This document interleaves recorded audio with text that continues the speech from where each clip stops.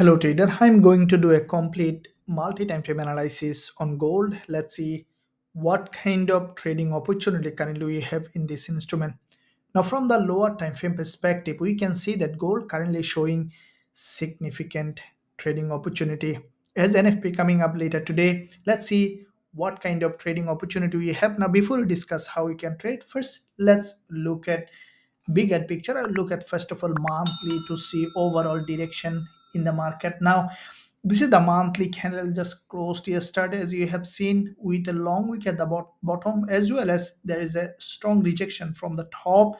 Now if we look at the overall picture we see that this previous monthly candle has a liquidity from the top and had a strong rejection closed below with a full body red crossing the previous one completely up and down and closed with a long wick candle.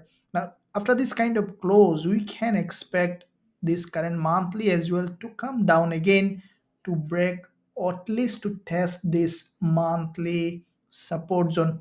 Now this month once the market opened we saw that initially after a little pullback the price again moving up. And with that movement what i think that highly likely gold might cross up to test this monthly opening and closing which is an important level of resistance. So from the lower time frame, we still could see some upside move on gold as it is a long-term bullish market and we can still expect gold to move to the upside. Now, if we look at the weekly time frame, we can see that from the weekly perspective, a bit more clearer price action. First of all, this current week, we saw that there is a, a liquidity trigger as well in this support. Below this doji there was a huge liquidity and gold has crossed that zone grab liquidity and immediately rejected along with this 20 ema now this current weekly candle we can see that almost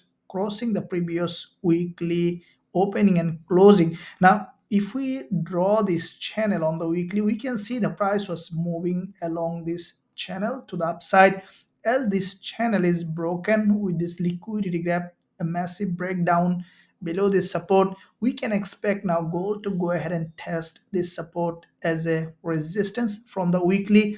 And afterwards we could see another drop to continue to the monthly support zone. Now at this point we still can expect gold to go ahead and test this level. So from the lower time frame still we could see bullish move on gold. Now if we look at the daily today's candle as you can see the one that just has closed with a strong liquidity gap from the previous daily support.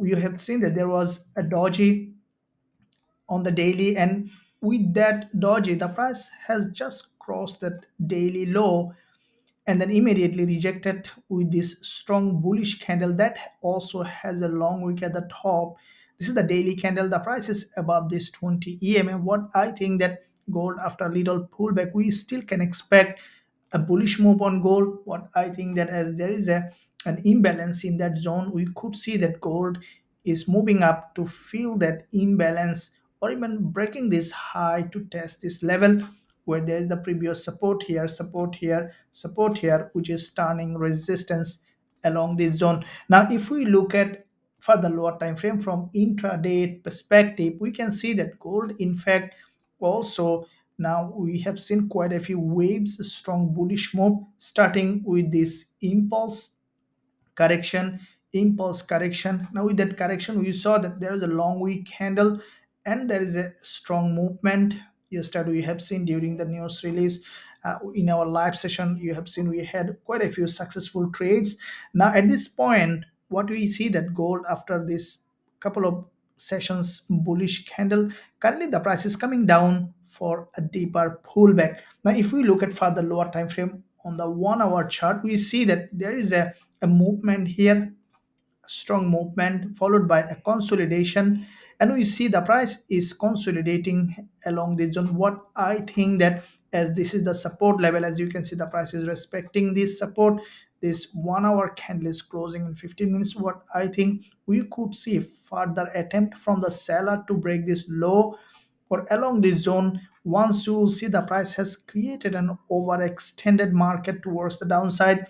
What i think that we could see a bit more downside to test this important level. If you draw this channel on the lower time frame we can see that gold is moving along this zone and we can expect a retest of this level penetration to the zone breaking this low giving an overextended market situation on gold on the lower time frame. So as soon as we will find suitable entry after breakdown giving a strong rejection from the bottom we will consider going long with a high probability trade setup with our students if you find value in this analysis, then smash the like button and also don't hesitate to leave a comment below. Thank you. I'll see you soon in my next analysis.